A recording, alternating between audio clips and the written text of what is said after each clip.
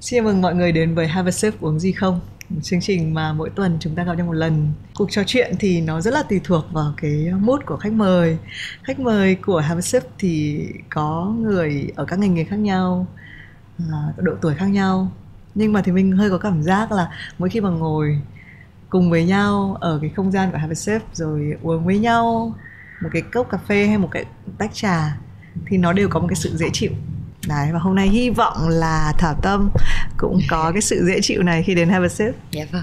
Dạ, xin chào tất cả các bạn ờ, khán giả của Have a Sip Mình là Tâm, Nguyễn Nam Thảo Tâm Và ngày hôm nay mình rất là vui vì được ngồi uống trà cùng với lại chị Thùy Minh à, Câu chuyện uống trà nhá thì nó sẽ Thường thì tất nhiên là thì mình sẽ hay hỏi khách của mình là uống gì ừ. khi mà đến đây à, Thi thoảng trong menu của Have a Sip thì sẽ không có đủ Nhưng mà mình sẽ cố gắng có Hôm nay thì may quá à, thảo tâm có chọn uh, trà mà cái món trà này là món kiểu best seller ở Signature. đây ừ, yeah. là trà thả thính yeah. nó có thính thật xong nó đúng nghĩa là thả là nước thả cho nó rơi rơi xuống à, ừ. có một ít foam phía trên Nhiên cái trà này uống thì ngon nhưng mà trong lúc quay hình uống vào thì mình có cái này thực ra là với các bạn mà nam mà chọn thì mình cứ mặc kệ trông ừ. kiểu lem nhem tí cho vui. Nhưng mà mình có nhắc tâm là à cái này uống cẩn thận nó sẽ dính. Em thử uống thử và xem. Em show cây cho mọi em show cây cho mọi người cái sự cái sự việc nó có thể xảy ra. Đấy nó sẽ như thế. Này trông nó rất là giáng sinh nhưng mà cũng đúng style, là gần Giáng sinh rồi. uh, style ông già Noel. Yeah. đấy thì thì uh, hôm nọ thì mình đã có một khách mời mà thấy cả buổi là cứ một tí lại thấy có một cái cái GMS màu trắng ở đây thì mới bảo là thôi hay hai chị em mình chuyển sang uống trà nóng. Đấy thì thì cái này là hôm nay mình cũng là trà nhưng chuyển từ trà thả thính sang trà nóng. Ừ. uh, nhưng nếu coi cái cốc trà thả thính này ừ. nó nói về em. Em nghĩ là nó nói gì về em? Tại sao mẹ chọn một cái món đồ uống để đến đây? Thật ra thì uh, đây là lần thứ hai em được ghé Have a Sip à. và lần đầu tiên ghé thì em đã rất là thích trà thả thính rồi à. dạ khi mà uống trà sữa hay là uống những món mà gọi là đồ ngọt như vậy á thì em lại không thích mọi thứ quá ngọt nhưng mà em lại bị một cái dấu là em rất là thích cái lớp foam ừ. cho nên là em rất là vất vả đi tìm những cái món mà trà sữa nó không quá ngọt nhưng mà nó vẫn có một cái lớp foam vừa đủ ngon vừa đủ ngọt mà nó vừa đủ có một độ béo nhất định ừ. và đây cũng muốn uh, uống nhiều hơn lắm nhưng mà thôi đang vẫn không được uống trà nóng thôi ạ Cảm ơn Generali Việt Nam đã đồng hành cùng Have a Sip với những lời nhắn nhủ. Bất cứ khi nào bạn thấy mệt nhoài vì những kỳ vọng, hãy cho phép mình xếp lại những âu lo ấy để bản thân được nghỉ ngơi khi mỏi mệt, bước tiếp khi sẵn sàng. Đơn giản vậy thôi là sống như ý rồi. Hãy thương mình một tí cho đời như ý.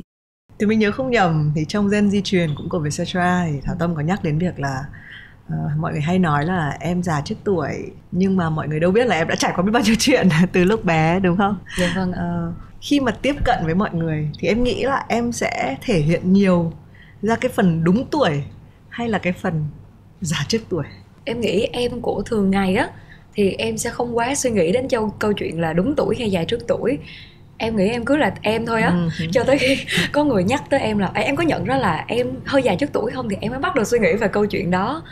Mình có thể chia làm độ tuổi thể chất độ tuổi vật lý là độ tuổi mà mình có thể nhìn thấy là độ tuổi tinh thần là cái mà thông thường thì mỗi người nó sẽ có một cái độ chênh lệch nhất định ừ. có những người sẽ trẻ trước tuổi trong về mặt tinh thần còn có những người sẽ già trước tuổi thì nếu mà xét ra như vậy thì em nghĩ em sẽ hơi già trước tuổi một chút ừ. kiểu yeah. oso ấy đúng không dạ yeah. chị sẽ tò mò một chút tại vì dân di truyền thì quay cách đây khoảng gần một năm trong khoảng một năm qua thì em nghĩ là cái điều thay đổi nhất của em là gì dạ mái tóc ừ đang định nói dạ gen di truyền uh, quay vào một cái thời điểm rất là đặc biệt đối với em vào năm qua và em nghĩ là cũng đặc biệt đối với tất cả mọi người.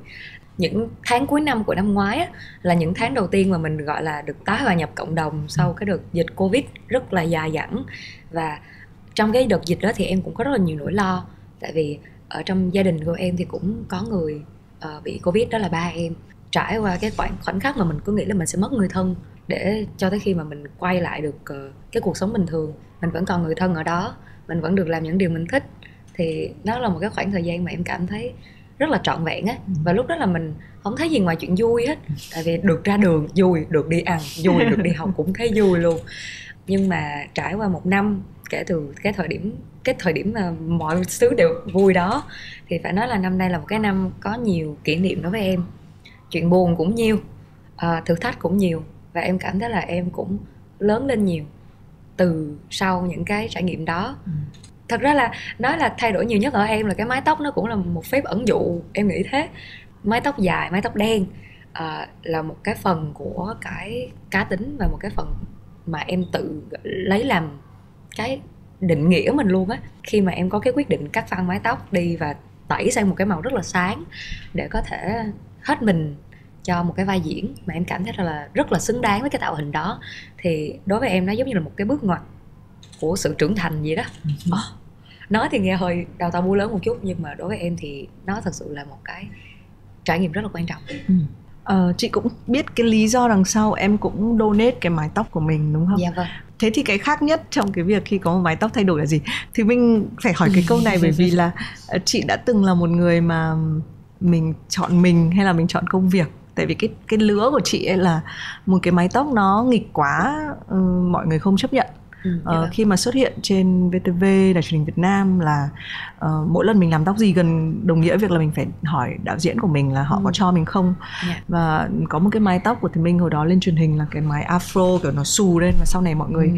đi đâu mà không làm tóc đấy thì mọi người vẫn nói là ơ nếu mà dẫn cái chương trình này thì nhớ đội cái cái mái tóc giả đấy vào nha tức là kiểu đấy tức là yeah, dạ, cái yeah. câu dạ. chuyện là phụ con gái với tóc ừ. tai thì nó nó nó nhiều khi nó không phải là tóc đúng không mình biết yeah, là nó ảnh hưởng đến cảm xúc của mình rất là nhiều mình buồn ừ. mình cũng muốn đi cắt tóc mình stress stress là mình muốn đổi kiểu tóc đấy thì mình cảm giác cái con người của mình nó thay đổi như thế nào giữa hai mái tóc? Em vẫn luôn luôn tin là một ngày nào đó mình sẽ có đủ gan để tẩy cả đầu. Uh-huh. tại vì em không phải là một người tham gia quá là chuyên sâu vào mảng thời trang. Em vẫn thích thời trang và em vẫn theo dõi thời trang rất là nhiều. Nhưng mà để nói là mình là một người cống hiến cả thân mình cho thời trang uh-huh. thì cũng chưa phải.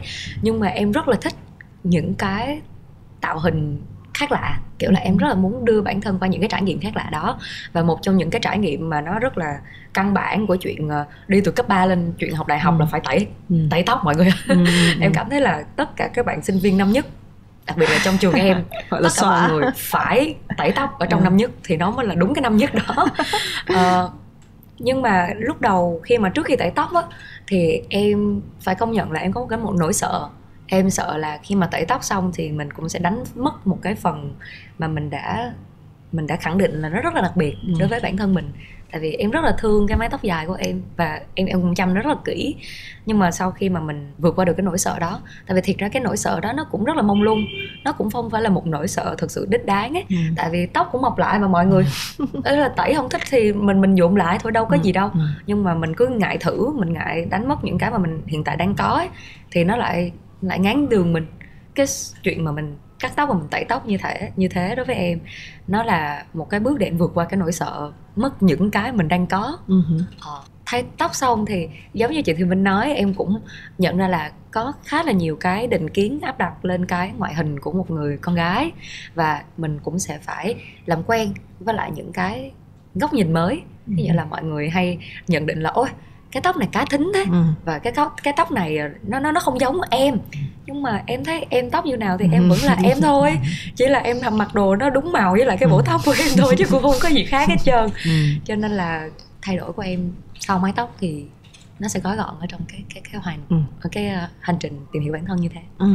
ờ, thực ra những bạn mà đã học giỏi từ bé đúng không xong rồi ừ. trông là có một mái tóc đen dài tức là mình nhìn tất cả những cái bạn mà kể cả từ thời của Thùy Minh luôn nhé yeah. là dạ. sau trước bọn em tận 20 năm thì những bạn học giỏi ở trong trường vẫn luôn là những bạn bạn nữ xinh xắn da trắng tóc dài ừ. tóc đen đó cái cái cái khuôn mẫu kiểu như vậy ờ, mình sẽ nói về là mọi người sẽ người ta thích yêu thích cái điều đấy nó hơi uh, mở rộng ra một chút là chị thấy uh, có một cái có một loạt các cái stories của em về việc là mọi người hay coi em là một cái cô người yêu quốc dân cô người yêu ảo ở trên mạng ấy yeah, đúng không tức là mọi ừ, yeah. đấy thì chị không biết là tại vì nhá nếu mình sống trong cái khuôn mẫu và sự kỳ vọng và được mọi người coi là một cái role model thì cũng tốt đúng không kiểu như cũng đích đáng đấy chứ yeah. Dạ. đấy thế nhưng mà cái sự dũng cảm của cái việc bước ra khỏi đấy uh, thì thì nó đã diễn ra như thế nào? Dạ trước hết em muốn nói về cái chỗ là học giỏi từ bé. ừ, rồi có biết năm lớp 9 em học không giỏi lắm dạ. học rồi. Nhưng mà thật ra là em cảm thấy cái chuyện em học giỏi từ bé thì nó cũng không thực sự đúng ấy. Ừ. tại vì cái nghĩa mà mình thường hay hiểu học giỏi nó sẽ gắn liền với chữ điểm cao. Ừ. nhưng mà em cảm thấy em cũng không nhất thiết là một đứa điểm quá cao đâu em học cũng cũng ok.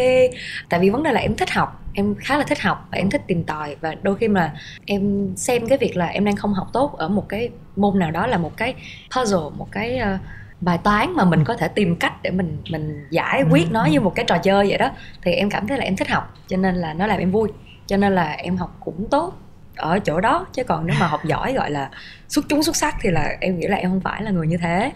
Ở trong lớp học á, thì em cũng sẽ thường ở trong cái phạm vi kiểu top 10 của lớp. Nhưng mà em không giỏi các môn tự nhiên lắm đâu. Em học tốt xã hội nhưng mà tự nhiên thì em ờ, hơi chật vật một chút. Cái cái cái may mắn của em là em thích học.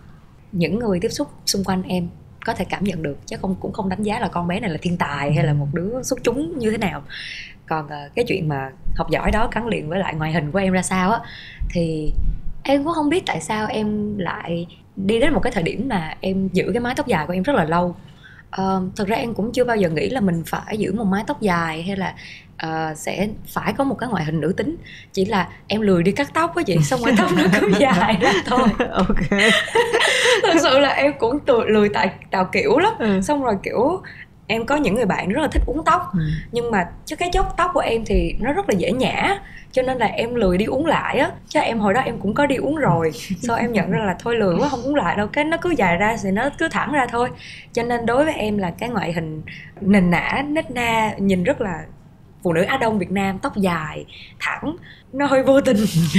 Với em.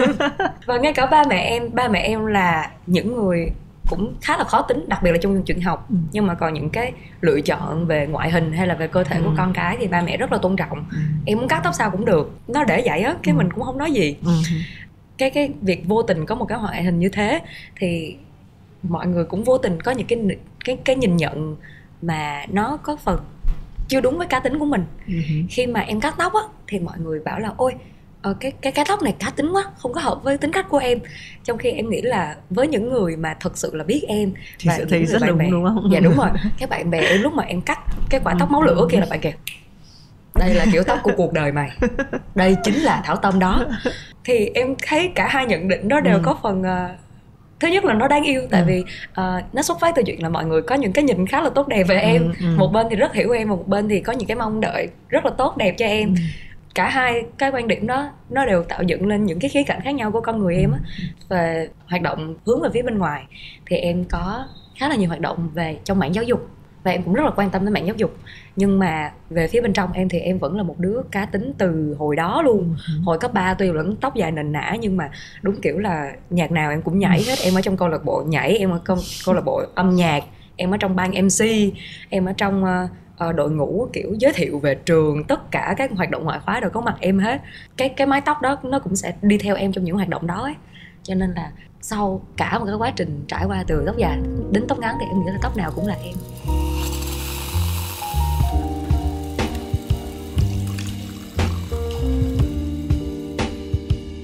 Chị muốn nhắc đến hai cái khía cạnh ờ, trong cái lúc mà em chia sẻ nhé thứ nhất là mình nói một chút về chuyện học giỏi dạ yeah. à chị không không biết cách làm cách nào để mà gọi là mình khoách cái cái này nhưng mà rõ ràng nó là thứ chụp lên tất cả các học sinh các thế hệ làm cho bản thân chị cũng hay nghĩ rằng nếu mình nếu mình đã từng không học giỏi ừ. thì có thể mình không có cái sự tự tin ngày hôm nay ừ. mình cũng không bao giờ hiểu cái cảm giác của một người thì chị nghĩ là chị với em sẽ giống nhau là mình thực ra mình thích học mình thích ừ. kiến thức. Thì tự dưng nó là ngay lập tức mình có một cái thái độ nghiêm túc với cái việc học ừ.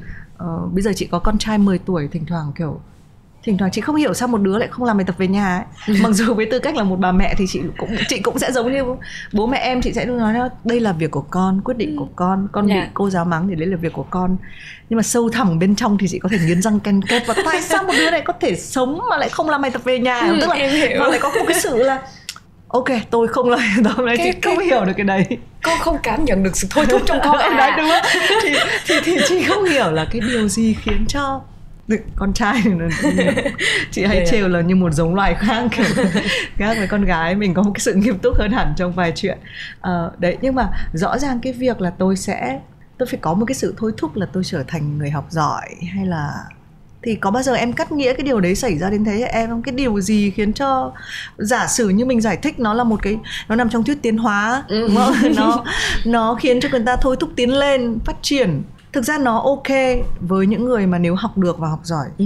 nhưng mà nó lại trở thành một cái không ok như những người học không giỏi cơ. Dạ, dạ đấy dạ, thì thì chị không biết em nghĩ đến cái lứa của bọn em thì cái áp lực của bọn em với chuyện học hành nó nó thế nào về câu chuyện cá nhân em thì cái điều khiến em thích học á em nghĩ nó vừa phần là tính cách nhưng mà nó vừa phần là môi trường. Em đến từ một cái môi trường rất là coi trọng học thuật.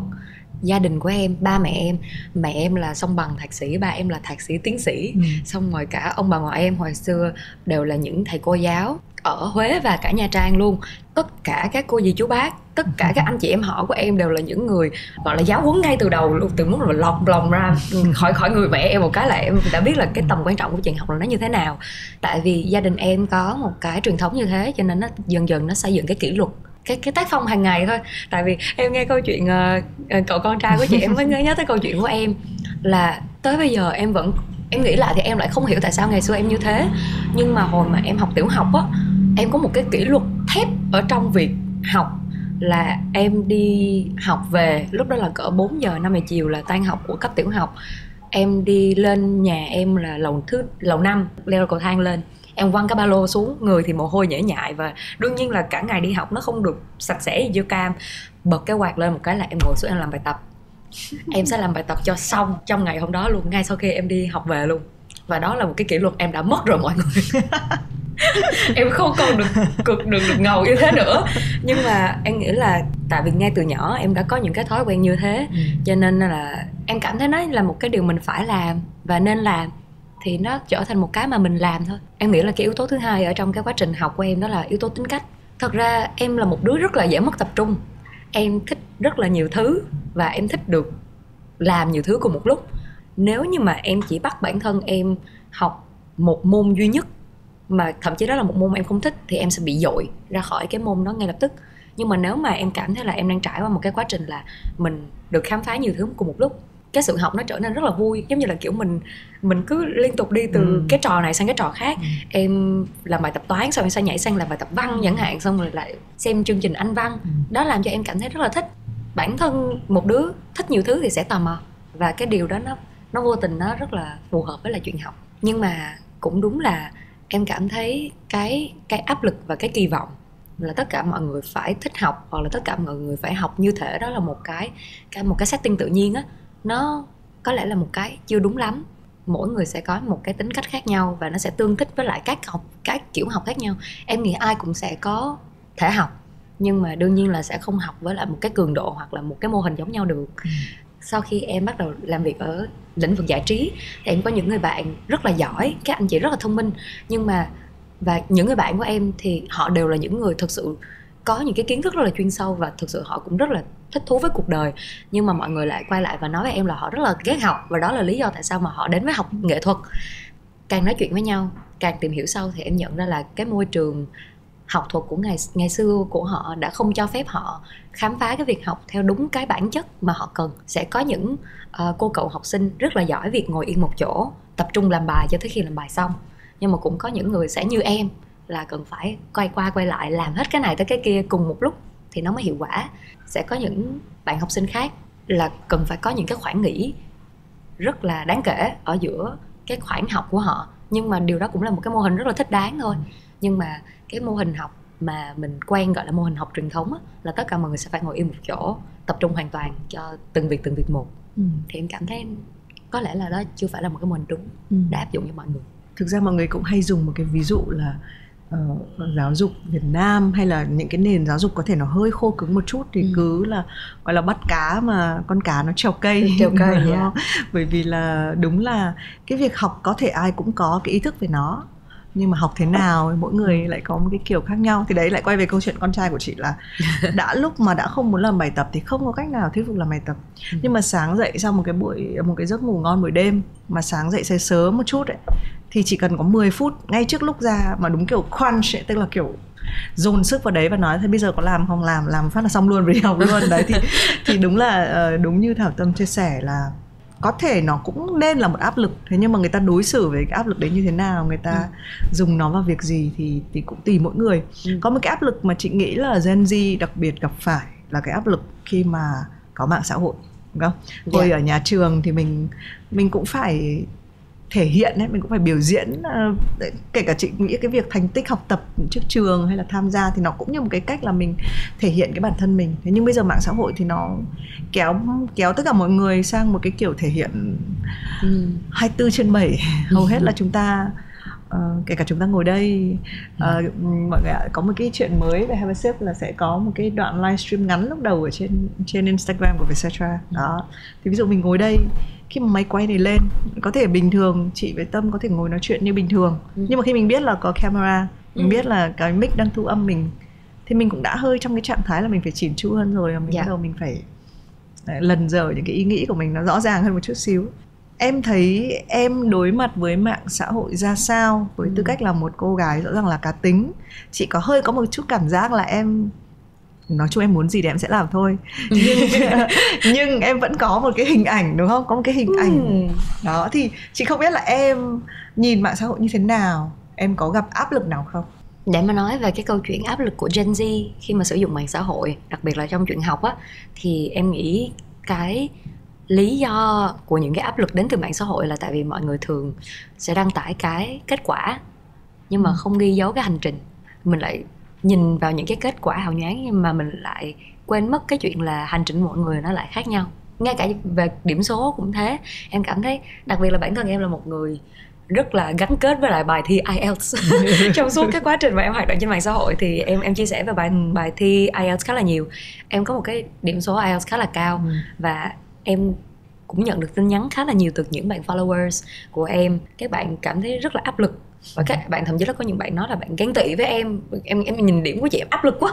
Tại sao chị điểm cao thế? Thì khi mà các bạn chia sẻ thêm thì các bạn cũng em em cũng nhận ra một điều ở các bạn là các bạn có lẽ là đang chưa nhìn nhận được cái quá trình của em hay là quá trình của những bạn khác những bạn tương tự như em để có thể có được con điểm đó. Cái cái chuyện mà gọi là gọi là gì? Thể hiện cho mạng xã hội cái vấn đề lớn nhất nó nằm ở chỗ đó. Ừ. nhưng mà bản thân em lớn lên có lẽ là không đồng hành cùng với mạng xã hội. À, lúc mà em có Facebook là vào năm em lớp 9, lớp 8, lớp 9 là khá là muộn. Còn bây giờ các bạn nhỏ hơn em ừ. Gen Z mà sau Gen Z xong rồi cả Gen Alpha là chắc là ngay từ lớp 1, lớp 2 là đã bắt đầu có mạng xã hội rồi. Nhưng mà lúc mà em uh, bắt đầu sử dụng mạng xã hội á thì em nghĩ là em cũng đã qua cái thời mà căng thẳng nhất của cái đợt dậy thì của mình rồi đương nhiên là hồi mà em mới sử dụng, em vẫn có những cái sự trẻ trâu nhất định. Giờ nghĩ lại, giờ xem lại em vẫn cảm thấy rất là xấu hổ và những cái mình từng làm ở trên mạng, làm khùng làm điên trên mạng. Nhưng mà lúc mà em bắt đầu sử dụng mạng xã hội, em vẫn có một cái tâm thế là mình là ai, mình như thế nào thì mình cứ như thế trên mạng xã hội thôi. Tại vì em đã qua, gọi là, cái cái cái khủng hoảng về tính cách của lúc mà đợt dậy thì rồi mình đã bắt đầu ngờ ngợ nhận ra mình là ai rồi. Thì mình cứ tự nhiên mình cứ là mình trên mạng xã hội thôi. Uh, em cảm thấy là đó cũng là một cái lý do tại sao mà các cái content những cái bài đăng của em trên mạng xã hội nó rất là không nhất quán. Có những lúc em sẽ rất là phải dùng cái từ là từ tào lao em rất là kiểu sôi nổi em đăng những cái nó rất là kiểu em nghĩ gì em nói đó tại vì em rất là thích giỡn. Em rất là thích đùa với lại các bạn followers của em. Nhưng mà bật một cái chuyển qua một cái em có thể quay qua em nói những câu chuyện học thuật em nói có thể nói về những cái chủ đề rất là sâu và thậm chí là có những cái bài đăng em vừa đăng em vừa em vừa bấm máy em vừa khóc luôn tại vì có những cái đoạn văn em viết mà nó làm cho em có nhiều cảm xúc như thế nhưng mà em nghĩ là bất kể một cái chia sẻ nào từ đó tới giờ của em trên mạng xã hội thì nó cũng phản ánh khá là đúng với lại con người của em trong cái thời điểm lúc đó ấy. và mình cứ là mình thôi ừ. còn về hình ảnh mà em có trên mạng xã hội thì chắc là nhờ chị Thùy Minh và các bạn đánh giá chứ em thì em cũng không thấy em có hình ảnh lắm tại nó nó nó không nhất quán của mọi người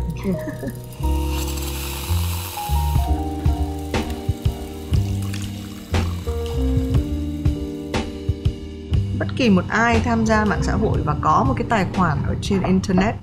Dạ. thì sẽ luôn sẽ có một cái nguy cơ của việc là đối mặt với những cái comment mà nó tiêu cực.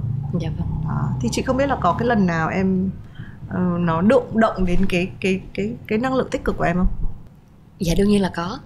Tại vì tuy là em không lớn lên hẳn với lại mạng xã hội nhưng mà em sử dụng mạng xã hội cũng lâu rồi bắt đầu là từ năm 2014 tới nay là 8 năm. 8 năm rồi cái năm đầu tiên em sử dụng mạng xã hội em đã phải nếm trái đắng rồi tại vì cái năm đầu tiên em sử dụng mạng xã hội em từng bị bắt nạt trên mạng một lần bởi bạn bè cùng lớp thì nó cũng chỉ là một cái mâu thuẫn uh, nội bộ trong lớp thôi mà bạn đó đã đăng tải lên mạng xã hội xong là kiểu mới kêu gọi mọi người xong rồi kiểu cả trường. Lúc đó nó rất là kinh khủng đối với em tại vì tuy là giờ nhìn lại thì cái lượng tương tác nó là không là gì. Nhưng mà hồi đó cảm giác là kiểu 100 200 cái like là đã kiểu mình cảm thấy là cả thế giới đang nhìn vào những cái sai lầm của mình luôn. Trong khi mình cũng không biết là mình có xấu xa như là cái cách mà người ta đang miêu tả hay không. Nhưng mà lúc đó mình cũng đã biết tổn thương bởi những lời nói trên mạng là gì rồi. Xong rồi khi em uh, bắt đầu hoạt động hướng về công chúng hơn và bắt đầu có những cái dự án nghệ thuật chẳng hạn thì em cũng đôi khi nhận về những cái lời phê phán hoặc là những lời phán xét và thậm chí là những câu chuyện những câu chuyện bị đặt ừ. và bản thân em. Mà em cũng không biết là từ đâu ra và cũng không biết thực sự trong cái câu chuyện đó mình có có xấu xa đến thế hay không. Cái tổn thương mà mình nhận lại từ cái cái cái sự gay gắt từ mạng xã hội đó nó cũng giống như cái lần mà mình bị bạn bè mình lôi ra nói xấu ở trên mạng năm 2014 vậy đó. Nhưng mà càng sử dụng mạng xã hội thì em càng nhận ra là có lẽ mạng xã hội cái nguy hiểm nhất và cái làm cho mình cảm thấy dễ tổn thương nhất là cái tính lan tỏa của nó. Tại vì mình cảm thấy như là có rất là nhiều ừ. cặp mắt đang nhìn về phía mình. Nhưng mà em cảm thấy cuộc đời này nó nó lớn lao hơn và nó nó nó đa dạng nó vô định hơn là mình đang nhìn nhận rất là nhiều cho nên mỗi khi mà em gặp phải một cái chuyện không hay trên mạng xã hội á, thì em nhận ra là trong cùng một ngày hôm nay, mình không phải là người duy nhất sẽ sẽ sẽ trải qua cái cảm xúc này. Cũng như là trong cái cuộc đời này, nói thì có vẻ rất là lớn lao nhưng mà trong cuộc đời này, đây cũng sẽ không phải là lần duy nhất mà mình bị tổn thương. Và tuy là mình cảm giác như là mình đang bị cả thế giới chống lại, tại vì mạng xã hội nó tạo cho mình cái cảm giác như vậy thế chứ cũng không phải là cái cái người tấn công mình, họ muốn mình cảm thấy như thế, hẳn hẳn là vậy. Nhưng mà cái gì nó cũng sẽ qua và em cảm thấy mạng xã hội đôi khi vì mình không được trực tiếp nhìn thấy nhau cho nên mình dễ buông lời cay nghiệt với nhau hơn. Nhưng em tin là bản chất con người vẫn là nhưng chi sơ tính bổn thiện á em tin là bản tính mọi con người vẫn là thiện vẫn là cái cái gốc của mỗi người. Cho nên em cũng không còn cảm thấy quá nặng nề và quá đau lòng nếu mà có chuyện gì đó xảy ra nữa. Em có tạo được cho mình một cái uh, gọi cái màng lọc không? Ví dụ nhé chị xuất hiện là rất là nhiều ở trên Vietcetera. Dạ dạ. Nhiều lúc chị khá ngạc nhiên là có những cái tập mà mình gọi là nằm im cũng súng đạn ấy. Tức là mình chỉ có mình không nói gì. Ví dụ tập tập mà gần đây chị phỏng vấn bà Xuân Phượng. Mình chỉ có chống cằm lắng nghe thôi. Thế mà mình cũng bị nói là sao lại ngồi nói chuyện người lớn lại chống cằm?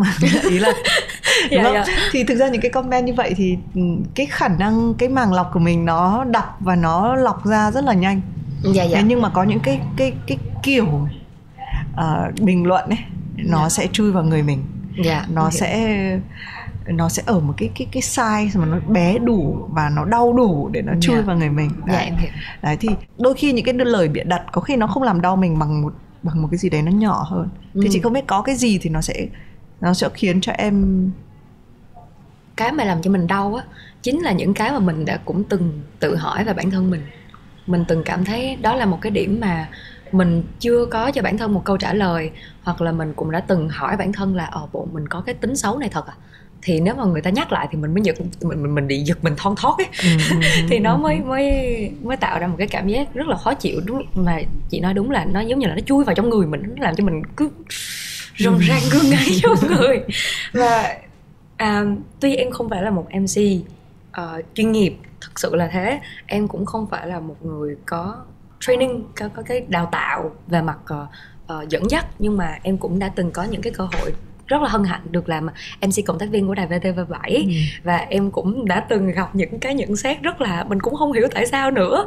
Thì khi mà em nhận được những cái nhận xét tích cực á ờ, những cái nhận xét tiêu cực á thì em cũng vô thức tạo dựng cho bản thân một cái bộ đánh giá là đầu tiên là em nghĩ chị em mình sẽ đồng ý là những cái câu câu chỉ trích á ừ. mà một khi mà nó bắt đầu có có xin lỗi mọi người nhưng mà nó bắt đầu có phụ khoa cho đó là mình nước ừ, mình nó ừ. nó không nó không hề đau luôn tại vì ừ. mình đâu có đọc đâu mà đau ừ. và nhưng mà nó sẽ có những cái cấp độ khác nhau và cái cấp độ cao nhất sẽ là những cái câu mà mình từng dùng để mình nói chính mình ừ. hoặc là mình tự dùng để chất vấn bản thân ừ thì khi mà gặp phải những cái lời chỉ trích mà em cảm thấy là nó là những cái câu mà làm cho mình đủ tổn thương á thì mình cũng nên dành một khoảng thời gian nhất định để mình ngồi lại và mình bác sĩ tâm lý của em dùng một cái câu một cái từ mà em rất là thích đó là từ tầm soát. Mình sẽ tầm soát cái cơ thể của mình tầm soát cái suy nghĩ của mình và tầm soát thậm, thậm chí là cả cái quá khứ của mình. Tại sao mình từng nghĩ mình có uh, cái câu hỏi đó dành cho bản thân? Tại sao mình từng nghĩ là mình có những cái tính chưa tốt đó, hoặc là mình có những cái biểu hiện chưa tốt đó? Liệu cái lời chỉ trích này là một cái lời chỉ trích thỏa đáng hay chăng? Thì những cái lời chỉ trích đó nó sẽ cần nhiều thời gian để mình mình mình mình bóc tách hơn. Suy cho cùng á, thì những lời chỉ trích mà dù là gai gắt hay là có tính thay xây dựng thì cái cần phải được thực hiện nhất là mình phải chắc lọc nó thành cái cốt lõi thôi. Những cái câu chỉ trích á cái tính hình thức của nó là một chuyện có thể có những người họ rất là gay gắt và họ chỉ trích với những cái từ ngữ rất là nặng nhưng mà cái nội dung của ừ, người ta vẫn đúng ừ. vẫn có những cái nét mà mình người ta đang đưa cho mình cái mà mình cần phải cải thiện thì mình chắc lọc cái lời chỉ trích của người ta còn đúng cái phần nội dung đó và mình giữ ở trong mình để mình tiếp tục mình học cách để cải thiện và học cách trở thành một phiên bản tốt hơn ừ. thì nó sẽ biến cái trải nghiệm đó thành một cái trải nghiệm tích cực mất nhiều thời gian hơn chút. Thay vì mình được gạt phăng cái lời chỉ trích đó đi thì ừ. mình phải ở với ừ. nó nhiều hơn. Nhưng mà cũng không sao. Cái lời chỉ trích mà thực ra kinh khủng nhất đấy. Ừ. với một số người mình không thể nói cho tất cả mọi người là cái lời chỉ trích của chính mình dành cho mình. Thành ra là mình sẽ hay đau đớn nhất với những cái lời chỉ trích từ phía bên ngoài mà nó gần giống với với chính cái lời chỉ trích đó. Dạ vâng uh, tuy nhiên quay lại thì em nói đến bác sĩ tâm lý em có bác sĩ tâm lý à? dạ em đã từng được khám phá bác sĩ tâm lý. Em nghĩ là đó là khoảng thời gian uh, năm ngoái. Thật ra khi mà em đi gặp bác sĩ tâm lý á lúc đó em lại cảm thấy khá là ổn. Em đang không có một cái vấn đề gì trong mình hết. Nhưng mà uh, vừa hay thì là em có một người em họ. Và người em họ đó có những cái sang chấn về mặt quá khứ. Sau khi đi gặp bác sĩ tâm lý thì người em họ của em trở nên rất là cởi mở và đúng là, kiểu, được sống đúng với lại cái bản chất của em ấy hơn. Và mẹ em mới nói là, thì ra là con cũng nên đi để mình tầm soát cái quá khứ của mình xem mình còn cái tổn thương nào mà nó còn dư động lại không. Thì mình giải quyết nó thì mình cảm thấy nhẹ người hơn thế thôi thế thôi. Cho nên là em cũng đã từng đi gặp bác sĩ tâm lý.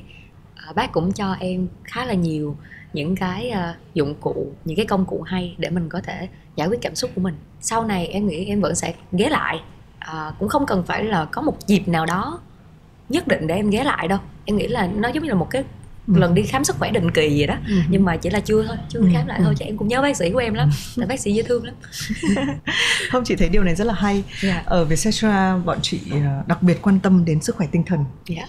Dạ. và có một cái chuỗi uh, chuyên đề tên là thương thân thì mình có dùng để so sánh các cái thế hệ Ừ. và sau này cái chủ đề này nó trở đi trở lại rất là nhiều trong cái tập với thầy uh, thầy uh, Minh Niệm thì cũng trò chuyện về cái này là cái sự khác biệt các thế hệ các thế hệ cũ thực ra thế hệ nào cũng có những cái tổn thương tâm lý và thậm chí chị có thể hơi mạo muội mức là chị có thể nói là hầu hết mỗi người chúng ta đều có những cái tổn thương tâm lý yeah. Dạ. nó chỉ là câu chuyện là mình một là tâm lý người Việt rất là sợ là bói ra ma quét nhà ra rác đi ừ. khám thì nó lại ra bệnh ừ, đó yeah. Dạ. và chúng ta sẽ chọn cách là chúng ta không nhìn không nghe không thấy không biết ừ. uh, nhưng mà chị thấy một cái điều khác biệt thế hệ tốt hơn là giới trẻ thì uh, dường như là ở ờ, chúng ta đang sống cái thời đại mà chúng ta sẽ aware trong cái nhận thức của chúng ta về sức khỏe tinh thần nó sẽ rõ ràng hơn uh, em có khuyên là mọi người nên nên luôn có bác sĩ tâm lý không? Thật ra em nghĩ đây là một cái câu chuyện em đã từng chia sẻ rồi và em vẫn rất là muốn nhắc lại cái câu chuyện đó là thiệt ra em nghĩ là bây giờ nó đã cũng khá là cải thiện khá là nhiều rồi ừ. nhưng mà em vẫn muốn nói với mọi người nhiều hơn là việc đi gặp bác sĩ tâm lý bạn không nhất thiết phải có bệnh về tâm lý ừ. bạn mới nên gặp bác sĩ tâm lý thật sự cái việc gặp bác sĩ tâm lý là một cái dịp để cho bạn thực sự là gắn kết hơn với bản thân á và nếu mà có bệnh thì mình chữa thôi.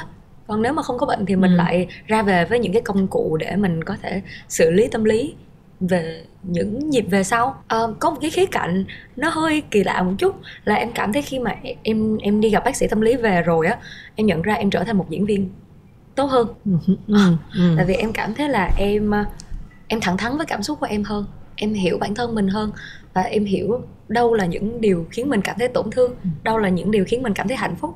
Và từ đó em vận dụng cái điều đó vào cái chuyện em tìm hiểu cái tâm lý của nhân vật của em. Và từ đó em cũng gắn kết với thân lợi uh, nhân vật của em tốt hơn. Ừ. cho nên là đó mọi người nó nó có nhiều cái ích lợi bất ngờ lắm. Cho nên là em em khuyến khích em rất là khuyến khích mọi người uh, hãy dành ra cho bản thân một cái dịp được ghé thăm bác sĩ tâm lý nó giống như là một cái cách để mình self care, self care self love vậy đó uh-huh. yeah. ừ.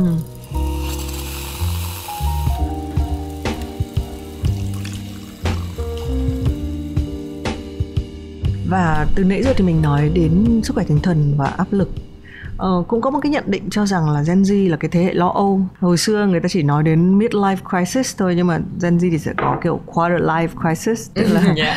uh, các cái khủng hoảng nó sẽ xảy ra dày đặc hơn. Có những cái lý do cho cái kết luận này bởi yeah. vì là hồi xưa mọi người cũng thấy kể cả thời bố mẹ em hay bố mẹ chị mọi người sẽ thấy là mọi người đôi khi chỉ cần làm một nghề yeah. uh, và mình có thể theo đuổi cái nghề đấy và nó là một chuyện rất là bình thường. Yeah. Thế nhưng mà ngày nay thì uh, ai cũng đóng nhiều vai thậm chí làm nhiều nghề. Một cái khoảng thời gian 8 tiếng của mình mình sử dụng vào rất là nhiều việc bởi vì mình cứ làm nhiều việc một lúc. Nếu mà em nghĩ là em đo cái mức độ áp lực của người trẻ nói chung ngoài ừ. cái công việc của em em so sánh thì em thấy nó đã ở trạng thái như thế nào nó có phải là thứ là người ta phải suy nghĩ nhiều hơn không?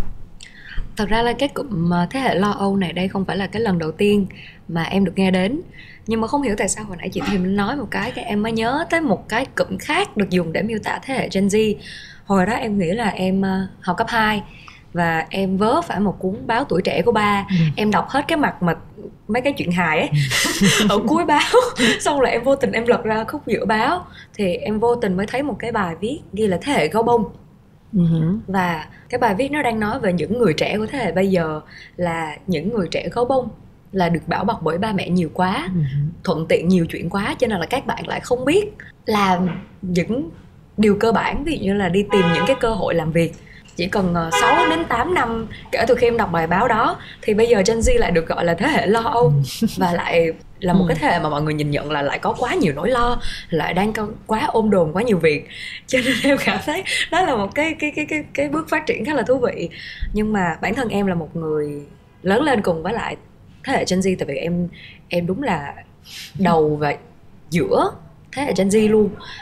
Gen Z vừa phần là những à, cô cậu rất là sung sướng. Tại vì tụi em được thừa hưởng được những cái điều rất là tốt đẹp từ thế hệ Gen X và Gen Millennial ừ. và Gen X đưa đến cho tụi em những cái tiện ích như bây giờ. Thật sự là em rất là biết ơn các anh chị Gen X đã tiên phong ở Việt Nam mình để đưa cái ngành truyền thông về cho tụi em được học và phát triển rất là nhiều. Nhưng mà song song với lại những cái tiện ích đó thì Gen Z cũng đối mặt với lại những cái kỳ vọng nó quá mới mà nó đến quá nhanh. Thì ngày hôm nay đến với Vietcetera thì em rất vui vì đằng kia có bé Vừng. Ừ. là mới hai tháng trước hai chị em mới gặp nhau lúc mà Vừng vừa mới bắt đầu làm việc với Vietcetera thì cũng mới gặp nhau thoáng qua thôi nhưng mà hai chị em đã kịp chia sẻ là ờ giờ này cũng hơi áp lực. Tại vì Gen Z á có vẻ cái mức kỳ vọng mà đã trở thành mức kỳ vọng nền là mọi người bắt buộc phải biết làm nhiều thứ cùng một lúc.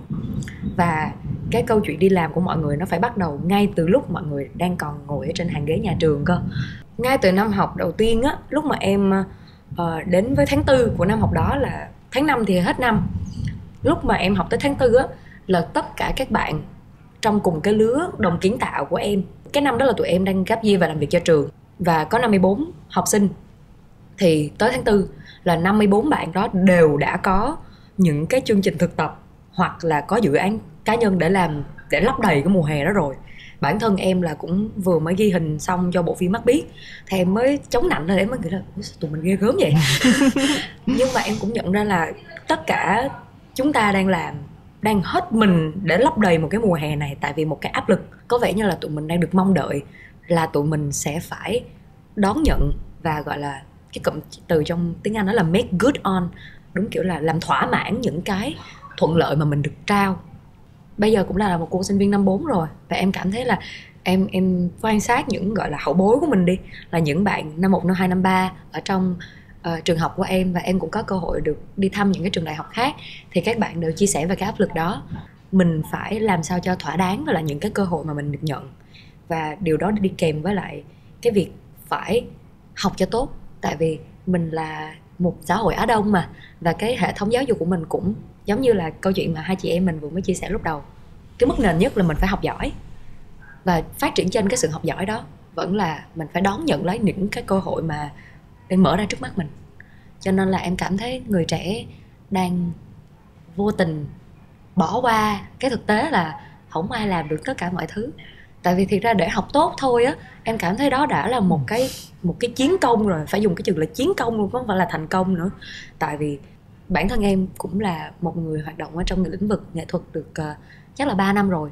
Nhưng mà thú thật là để gọi là nói là em đã tham gia một cách năng động và nghiêm túc á thì chắc là chỉ trong năm nay thôi chứ còn hai năm trước thì em vẫn chủ yếu là một cô sinh viên.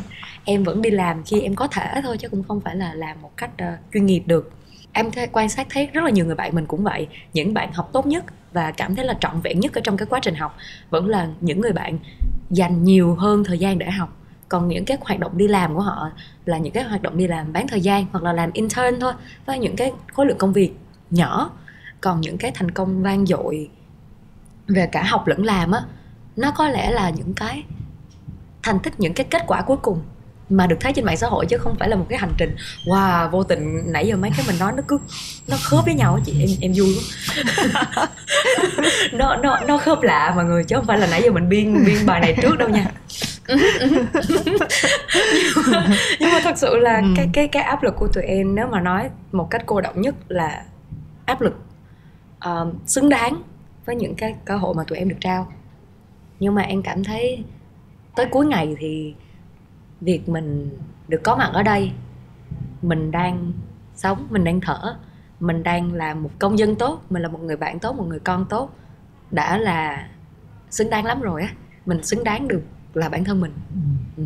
chứ mình không cần một cái một cái cột mát nào để trở nên xứng đáng hơn với tư cách là chính mình một người như em nhá uh, phải đi học này phải hoàn thành việc học giỏi này uh, hoạt động này năng nổ này đi đóng phim này chụp hình này.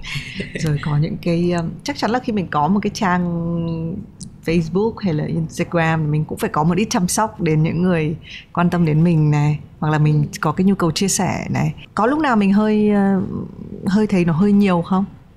Ngoài cái việc chị hiểu cái sự thúc đẩy của tất cả những cái nỗ lực này là bởi vì là một cái thế hệ phải tỏ ra xứng đáng với những cái cái gọi là quyền lợi những cái lợi thế mà những thế hệ trước đã vất vả thế hệ bố mẹ mình chắc chả bao giờ phải nghĩ chuyện là tôi phải run cái Facebook page để cho mà giữ follower không bị tuột đúng không yeah. họ có thể là chỉ đi làm và họ hoàn thành cái sứ mệnh của họ và mình cũng đã thấy là cái công việc đấy nó rất là vất vả ừ. và thực tế đó là chị không biết tất cả các bố mẹ đều phàn nàn với con gái là chị không biết là bố mẹ em có thể cấp tiến hơn nhưng ví dụ chị luôn lớn lên với một cái cái guilty của cái việc là à tôi phải học giỏi hay tôi phải cố gắng bởi vì bố mẹ tôi đã đi làm rất là vất vả để có tiền cho tôi ăn học có thể họ không có làm cái điều đấy cố ý nhưng mà một cách vô thức ai trong cuộc sống mà mình chẳng có những lúc mình phàn nàn yeah. thì mình phàn nàn thì tự dưng nó sẽ trở thành một cái gánh nặng cho cái thế hệ tiếp theo ừ. thì có thể sâu xa nó là những cái việc như vậy từ thế hệ này sang thế hệ cứ thế hệ sau sự kỳ vọng nhưng ừ. quay về em thì em có cái lúc nào mà em em phải hoàn thành nhiều thứ và em thấy rất là mệt không? Dạ cũng có. Tại vì thật ra là em em cảm thấy mạng xã hội của em nó phản ánh khá là đúng con người hiện tại của em. Ví dụ đơn giản nhất là những khi mà em cảm thấy em quá mệt mỏi thì em biến mất luôn. Trời tại vì thật sự là khi mà em hoạt động mạng xã hội có một cái ở em mà em cảm thấy khá là thích thú về bản thân là em không quá bị áp lực về cái chuyện là mình đang có thành công ở trên mạng xã hội hay không và khi mà em sử dụng mạng xã hội em cũng không quan tâm quá nhiều về cái chuyện là uh, mình có tăng follow hay, ừ. hay không mình có giảm follow hay không tại vì em cảm thấy là những cái mối duyên mà mình gặp ừ. các bạn follow ở trên mạng xã hội á nó cũng sẽ có thời hạn của nó ừ. có những người mình sẽ gặp ở trong cái giai đoạn này của cuộc đời này cũng cuộc đời mình. Nhưng mà lúc mà hai người mình không thể đồng hành cùng nhau thì chúng ta sẽ rời đi thôi. Có duyên sẽ gặp lại. Có khi các bạn ờ, unfollow em nhưng mà mai mốt mấy bạn unfollow lại thì cũng không sao. Uh, nhưng mà khi mà em sử dụng mạng xã hội á và khi mà em cảm thấy quá tải thì trong cái khoảng thời gian à, chắc là một năm trước có một cái khoảng thời gian em biến mất khá là lâu. Em nghĩ là em không hoạt động mạng xã hội gần như là không hoạt động xã hội mạng xã hội trong vòng cỡ ba bốn tháng liên tục tại vì em cảm thấy là em em rất là chất vấn bản thân là tại sao mình làm tất cả những điều này là vì điều gì. Em cảm thấy em là một người có tính trách nhiệm cũng tương đối là lớn.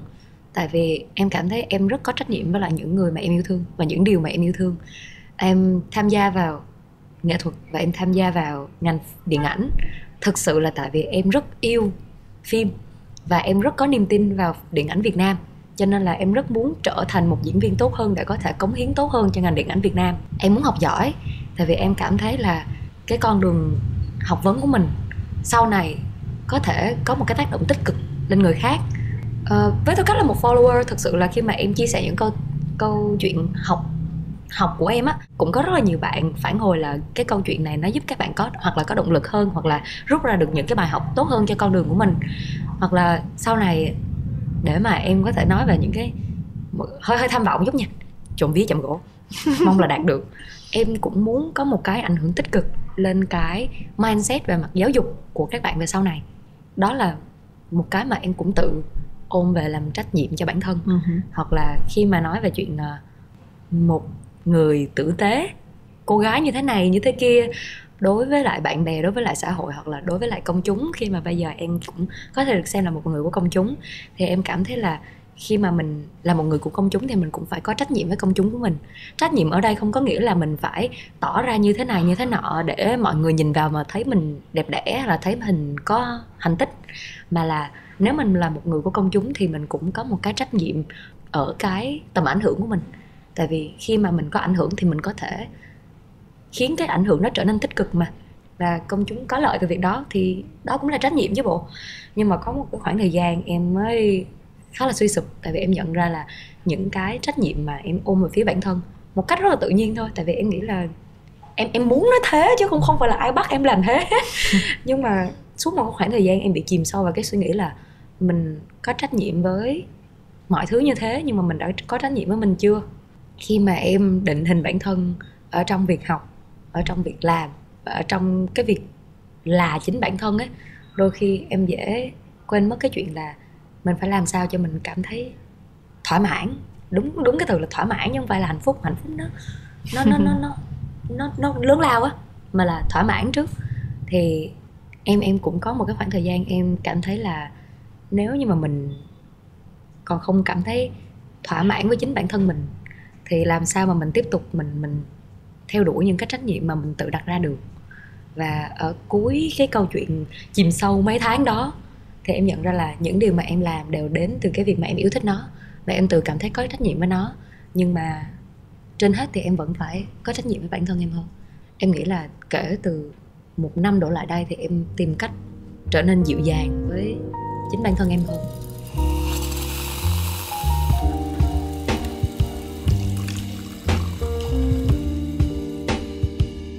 Em nghĩ gì về sự lựa chọn ví dụ khi mọi thứ nó hơi nhiều à, hôm qua cũng hôm qua hôm qua là một cái ngày mà kiểu chị đúng nghĩa là chạy xô ấy có quá nhiều các cái sự kiện mà mình muốn tham gia yeah, dạ, yeah. Dạ. và mình mình muốn chạy từ cái này sang cái kia thậm chí là mình hơi hoang đường trong việc là mình có thể chạy từ điểm này sang điểm kia và tham gia các event này đến event kia. Dạ, yeah, đặc biệt là trong um, traffic Sài Gòn, giao thông Sài Gòn mọi người. Ừ, thì mà có một người bạn có nói một cái câu là priorities kiểu à ưu cái sự mức độ ưu tiên đúng không? Dạ vâng. Đấy, thì chị không biết là trong cộng sự lựa chọn cái công việc của em, em rất là đam mê cái chuyện làm nghệ thuật, em cũng rất đam mê chuyện về giáo dục yeah. Dạ. trở thành một cái nhà giáo dục học về nghệ thuật khai phóng thì em nghĩ gì về sự chọn lựa em có nghĩ rằng đến một lúc mình sẽ phải chọn một hay là mình có thể chọn bằng cách nào đấy thần kỳ nào đấy mình sẽ chọn cả hai thế nào là nghệ thuật buông bỏ thế nào đấy thì kiểu ý là yeah, yeah, yeah. mấy cái câu hỏi hay trong sách giáo khoa ấy. Uh, chị vừa hỏi nếu mà nói với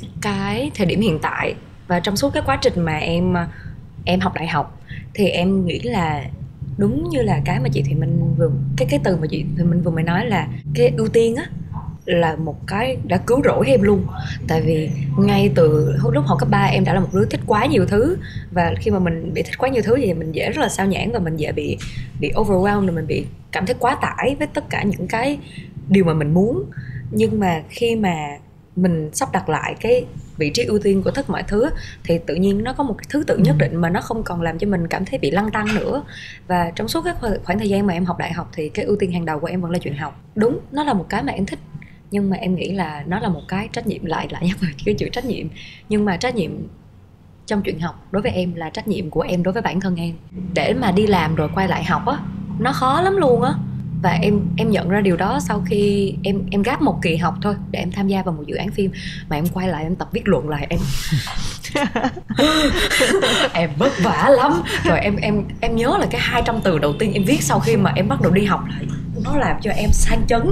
Em mất cả một đêm để viết được 200 từ.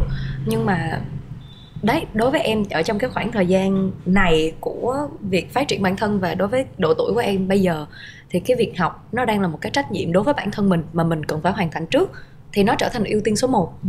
cho nên là trong suốt cái khoảng thời gian 3 năm vừa rồi là em cứ điền hết cái lịch học của em vào trong cái lịch của một tuần và sau đó nó tự tự khắc sẽ sẽ sẽ mình sẽ thấy được những cái lỗ trống ở giữa cái lịch học chứ đâu ai học hoài đâu học hoài là là chạm á ừ. thì nó sẽ tự động có những cái khoảng trống mà mình có thể đưa vào những cái hoạt động khác đó là cái cái chỗ mà em đưa vào những cái hoạt động đi làm của em ừ.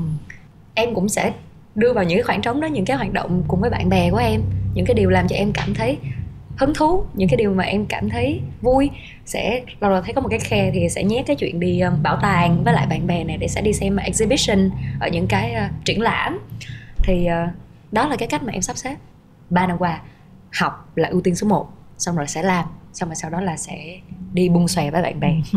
Tại vì cái mô hình này nó đã nó rất là hiệu quả trong vòng 3 năm qua cho nên là em nghĩ là em sẽ giữ hoài luôn mai mốt em nghĩ em sẽ vẫn ưu sắp xếp cái cái mức độ ưu tiên ở trong tất cả những cái điều mà em làm như thế ừ. và em sẽ giữ vững cái mức độ ưu tiên đó ừ. để cho mình có một cái một cái la bàn mà nó có một cái kim, kim chỉ nam rồi thì mình rất là dễ đi nhưng có bao giờ em ưu tiên nghệ thuật không chuyện đóng phim ừ. trên chuyện học không mình lại nói đến pro and cons một chút là À, chắc chắn là sẽ có những người nói là ôi đang còn trẻ này đang xinh đẹp này đang được những cái lời mời đóng phim hấp dẫn này thì là lúc phải ưu tiên cái việc đấy việc học ừ việc học thì khó đấy nhưng mà à, ngày hôm nay cũng cũng khá là tình cờ là cái bạn make up cho em ngày hôm nay là một người bạn của em từ hồi cấp 3 rồi và hai tụi em bằng tuổi nhau và gần như là tụi em lớn lên cùng với nhau luôn kể cả trong mảng học thuật lẫn trong mảng uh,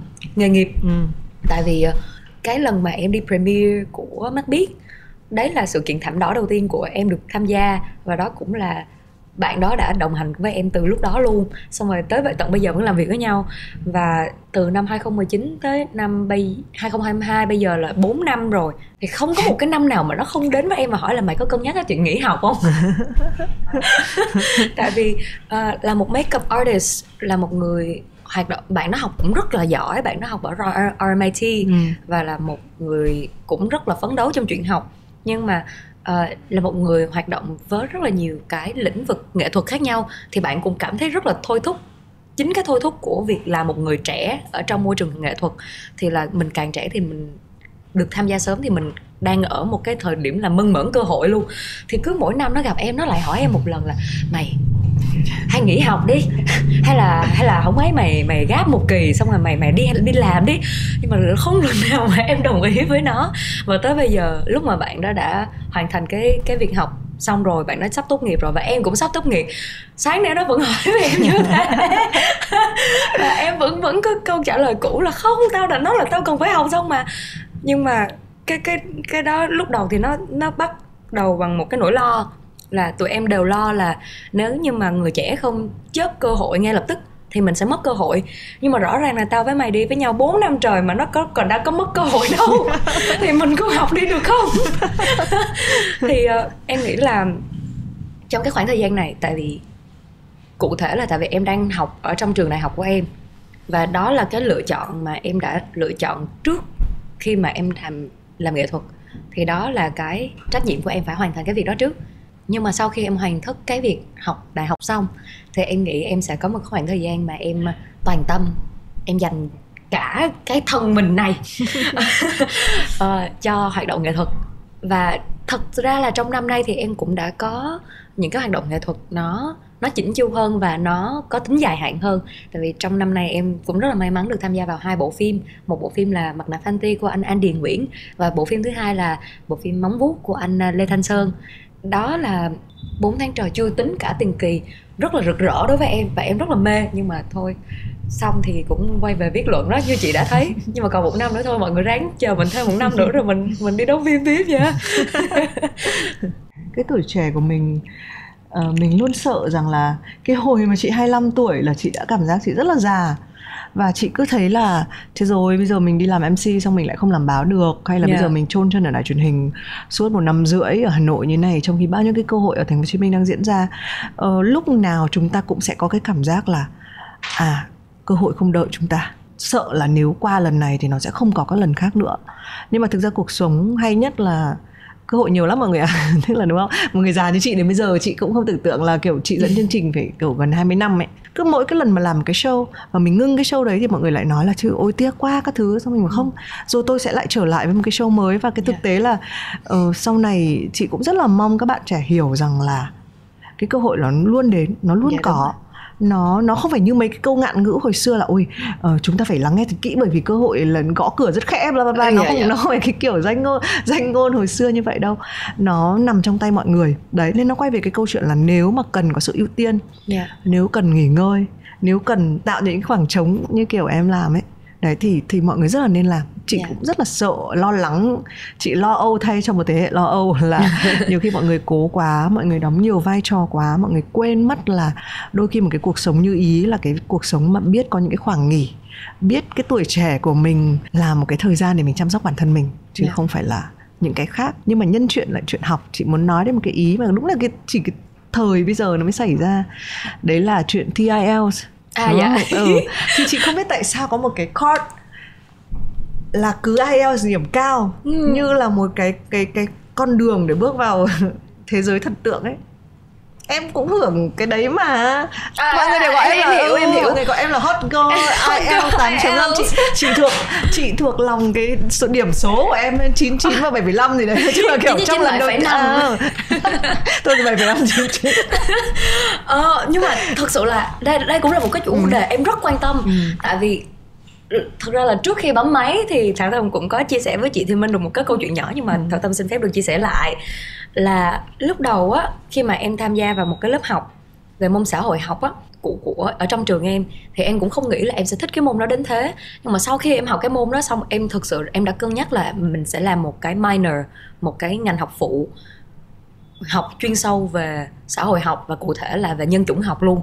Và cái bộ môn đó tên là digital anthropology nhân chủng học và mạng xã hội. Ừ. và khi mà em học về cái cách mà những cái nhóm người dùng trên mạng xã hội hình thành hoặc là những cái cái cái cái hiện tượng mạng xã hội nó xảy ra thì em nhận ra là nó nó là một cái gì đó rất là con người và nó có những cái động lực nó gắn liền với lại cả lịch sử và văn hóa và nó nó rất là thú vị ở cái chỗ ừ. đó và em nghĩ là cái cái tên gọi Hot Girl 8.5 IELTS nó cũng là một cái mô hình của cái điều đó. Nó cũng là một cái một cái khía cạnh có thể nghiên cứu về nhân chủng học và tại sao chúng ta lại trao cho nhau những cái tên gọi như thế. Ừ. và thật sự là cái bài cuối khóa của cái cái môn đó em đã làm một cái bài nghiên cứu như thế này. Em làm một cái bài nghiên cứu về hình tượng con nhà người ta ở trong cái mô hình KOL tại Việt Nam. Và em đã dùng case study ở hai nhân vật là hai người bạn của em là chị Khánh Vi và anh và bạn Thiện Khiêm. Ừ. sau khi mà em làm cái bài nghiên cứu đó thì em nhận ra và em cũng có một phần là phản tư về cái quá trình mà em em phát triển ở trên mạng xã hội. Thì em nhận ra là cái bài thi IELTS á thật ra nó gắn liền với cái cái cái cái ưu tiên cho việc học thuật ở trong xã hội của mình. Khi mà mình đưa lên mạng xã hội một lần nữa là mình chỉ đưa cái kết quả chứ cũng chưa thể là gắn kết một cái quá trình đó mọi người lại bị hiểu lầm và có những cái nhìn nhận chưa đúng về cả một cái quá trình đó. Nhưng mà đương nhiên nó cũng sẽ có những cái lợi ích nhưng mà đương nhiên là nó sẽ có những cái mặt trái của nó. Em quên mất cái câu hỏi ban đầu là gì rồi em chỉ rất là thích cái môn đó và em muốn nói cho mọi người nghe thôi. Nhưng mà dạ em em em tự nhiên chỉ nhắc tới cái tên đó em nhớ tới cái bài cái bài em làm. Tại bài đó em được điểm A mọi người em rất tự hào về bài đó. Đấy cái câu hỏi của chị không quan trọng quan trọng là là khoe được là em điểm A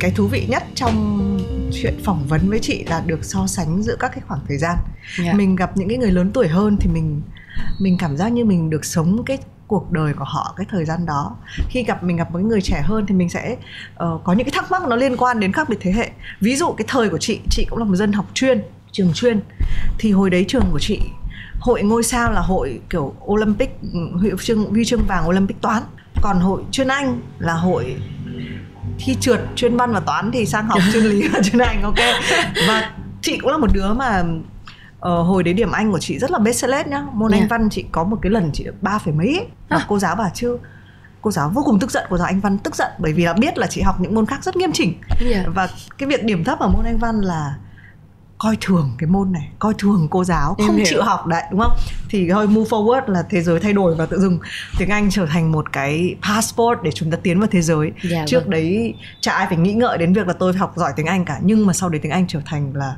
nó mở cửa ra tất cả các thứ thế nên tự dưng bây giờ Olympic toán có khi không thể nổi bằng đúng không? Nên là ờ, đấy dạ vâng. có thể bọn em một cái người được huy chương vàng Olympic toán thì chắc được nhắc được vài lần nhưng bọn em bọn em sẽ nghìn đời mang cái danh 8,519 IELTS gì đấy. Đấy thì do nó nó nói rất là nhiều về chuyện xã hội thay đổi. Dạ. Các cái uh, các cái ưu tiên cái thứ tự ưu tiên về môn học nó cũng thay đổi đó tuy nhiên em... nó kéo theo một thứ ờ em định nói cái gì em lại nghĩ là nó cũng là một cái phản ánh An cảm thấy đó là một cái phản ánh một cái nguyện vọng rất là chân thành từ các bạn trẻ nói chung là các bạn cũng nhận thức được là tiếng Anh bây giờ là một cái passport ừ. cho nên là các bạn cũng muốn được cải thiện cái điều đó ở bản thân cho nên là các bạn uh, sẽ nhìn vào những nhân vật đã đạt được cái điều đó để trở thành một cái role model để mình ừ. có thể được học theo ừ.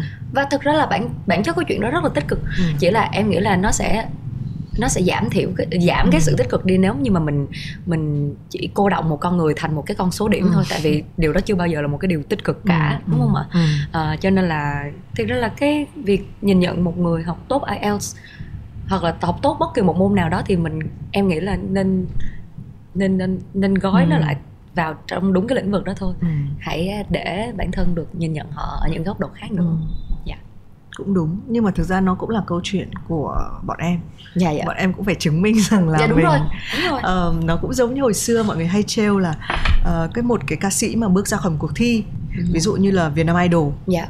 thì cái cái cái chữ Việt Nam Idol cứ gắn vào tên của họ Uyên Linh Việt Nam Idol uh, Phương Vi Việt Nam Idol tức là họ sẽ phải nỗ lực rất là nhiều để đến lúc mà họ dụng mất cái chữ Việt Nam Idol đi họ chỉ là Uyên Linh họ chỉ là Phương Vi họ chỉ là một ai đấy với cái tên của họ không thôi đó. và đó là điều mà làm cho em rất là ngưỡng mộ và thật sự là em cảm thấy là em cũng phải học hỏi rất là nhiều ở chị Khánh Vi và bạn Thiện Kim ừ. tại vì bây giờ nhắc Khánh Vi là MC Khánh Vi ừ. là một nữ MC quá tài giỏi và cũng rất là duyên dáng ừ. tại vì chị không chỉ là một người rất là giỏi về mảng học thuật nhưng là một người rất là khéo léo và rất là rất là cố gắng ở trong lĩnh vực MC ừ. còn nhắc tới Thiện Kim là Kim Slays là một youtuber rất là rất là có tâm với lại cái content của mình ừ. và là một người thực sự là cũng chân thành muốn chia sẻ những cái trải nghiệm của mình đến với lại các bạn follower thì em cảm thấy bản thân em cũng rất là muốn đạt được cái điều đó nhưng mà đối với em là trong mảng điện ảnh. Ừ. và em cũng nghĩ là thì ra mình cũng không thể nói suông mình chỉ đang đặt lên mình nói với mọi người mọi người hãy nhìn nhận tôi ở một cái hoàn cảnh khác nữa. Đúng như chị nói là mình phải chứng minh là mình có cái khả năng ở những lĩnh vực khác nữa. Thì đúng là vô sau này cái cái chữ đó có khi nó lại rụng mất. Ừ. và mình sẽ được nhìn nhận theo nhiều khía cạnh hơn. ừ dạ. Và thực ra là diễn viên em cũng bị cũng là gọi cứ cô hồng mắt biết mãi đấy còn gì đúng không? Dạ vâng. Nhưng mà cũng không em em nghĩ là điều đó cũng quá đổi bình ừ, thường tại vì ừ. đó giờ mới có, có một ừ, phim. đó. Uh, hai cái nhân vật tiếp theo của em là dạ. nhân vật như thế nào? Em không dám kể. Tại vì uh, cũng đang ở trong quá trình uh, hậu kỳ ừ. cho nên là em nghĩ là em cũng chưa thể chia sẻ quá nhiều được. Nhưng mà đây là hai nhân vật có cá tính rất là khác với lại cô hồng. Uh, ở bộ phim mặt nạ Fenty thì em sẽ được uh, hóa thân vào một cô gái là phần tối của em ừ. và em nghĩ là cái ở trong bộ phim móng vuốt thì sẽ được hóa thân vào một cô gái lại là phần sáng của em em cảm thấy cả hai nhân vật đều có những cái nét tính cách mà em có nhưng mà nó không phải là những nét tính cách nó nổi trội uh, giống như cái cách mà em thể hiện thường ngày ừ. cho nên em cảm thấy là em em có thể thông qua hai nhân vật này mà mà mà đưa đến với khán giả những cái khía cạnh khác biệt hơn với em hay không? Trả lời và không lộ không lộ về dự án luôn. Thế thì thử thách thử thách nhất của em. Ừ, dạ. Trong việc đóng phim nói chung dạ, chị dạ. không hỏi về dự án nữa. Dạ dạ. Ừ. với một cái người mà mới chân nước chân giáo như em dạ, vâng. cái thử thách lớn nhất với em khi đóng phim là gì nói là làm diễn viên được 3 năm vậy thôi chứ em cảm thấy bản thân mình vẫn còn quá nhiều điều để học hỏi. Và đặc biệt là sau khi mà em học đại học xong thì em em biết chắc chắn là em sẽ tham gia vào rất là nhiều cái khóa uh, kỹ năng để có thể cải thiện những cái kỹ năng diễn xuất của em. Đặc biệt là em rất là muốn học một khóa về giọng nói về tiếng nói. Thì em tin là cái giọng nói của mỗi nhân vật của em em rất là muốn mỗi nhân vật sẽ có một cái giọng nói khác nhau. Ví dụ như là cô hồng thì nó sẽ có cái giọng như thế này nó gần với lại cái dòng truyền hình của em. Còn nhân vật ánh dương thì sẽ có một cái giọng rất là nhiều hơi vì ánh dương nó rất là lo lắng ừ. và sợ hãi. Còn nhân vật còn lại thì em không nói đâu tại vì chưa có quảng cáo. À, nhưng mà với tư cách là một diễn viên trẻ thì em cũng nhìn nhận được rất là rõ về những cái kỹ năng còn thiếu sót của mình đôi khi lên set thì em cũng khá là bỡ ngỡ và em cũng còn khá là khớp ừ. tại vì em nhận ra là uh, mình mình chưa biết và chính cái sự không biết đó làm cho em lòng cộng và ừ. em kiểu cũng tự thu mình lại và mỗi cái lần mà em bước lên một set phim lại là một cái cơ hội để em học cách trải lòng hơn học cách mở bản thân ra và đón nhận những cái điều mới mẻ hơn tới bây giờ vẫn phải học tại vì ừ. còn còn mới quá học vui. Ừ. lại thích học. Lại thích lại, lại thích học, học.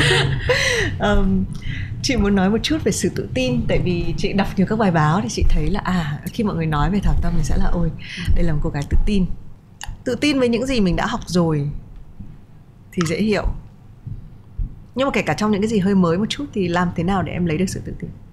Cái sự tự tin của em nó được um, nó được truyền nó được góp xăng bởi sự nhiệt huyết của em là nhiều. Là một lần nữa chúng ta ừ. quay về chủ đề trước.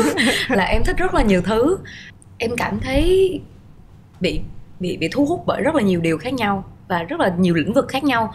Có thể là em không phải là một người có nhiều kiến thức chuyên sâu về những cái lĩnh, lĩnh vực khác nhưng mà em rất là thích ngồi nghe những bạn ở trong trường em chia sẻ về cái ngành học của họ. Em có thể ngồi nghe hàng tiếng đồng hồ và hỏi những câu hỏi mồi để nó kể cho mình nghe nhiều hơn để mình học lõm.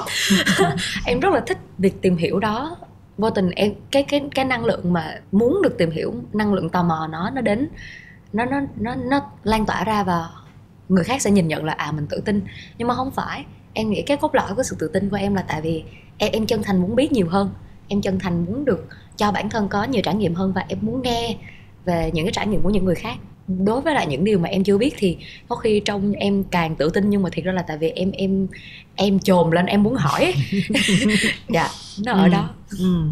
lúc nào thì em không thấy tự tin nhất? Em không thấy tự tin nhất. Có lẽ là khi mà em thử và em bị sai. Một cái thói quen xấu mà em cần phải tập bỏ đi là em bị suy nghĩ quá nhiều. Em đang học một lớp acting ở trên trường của em nhưng mà được uh, dẫn dắt bởi anh Aaron Toronto và chị Nhã Uyên uh-huh. là biên kịch và đạo diễn uh-huh. của đêm tối rực rỡ. Uh-huh. và anh chị luôn luôn nhắc đi nhắc lại là suy nghĩ là kẻ thù của diễn viên. Xong rồi em nghe xong em về nhà vắt tay lên trán chết rồi mình suy nghĩ rất là nhiều ấy. Thì mình làm diễn viên được không ta? Thì trong cái quá trình mà lúc mà em mới đi làm thì em bị suy nghĩ quá nhiều và em bị quá là cứng nhắc ở trong cái cách xử lý nhân vật. Và khi mà em diễn một hai set đầu và em nhận ra là cái cách tiếp cận của mình là sai, thì em cảm thấy cái sự tự tin của mình nó nó vỡ vụn luôn. Tại vì em là một người từng rất tự tin trong cái suy nghĩ, cái khả năng tư duy của mình. Mà bây giờ cái đó lại là cái mà mình không sử dụng được, thì phải làm sao bây giờ? Nhưng mà em nghĩ là trong một một năm vừa qua, khi mà trải qua cũng khá là nhiều cái mô hình dự án khác nhau. Và cũng được gặp những người anh chị rất là giỏi và rất là có lòng. Và thực sự là họ đã dẫn dắt em rất là nhiều á. Thì em học cái cách thoải mái hơn và go with the flow kiểu đi theo dòng chảy nhiều hơn. Ừ. và không quá phải vin vào những cái mà mình nắm trong tay nữa mà mình phải tập cách đón nhận những cái mà mình chưa biết nhiều hơn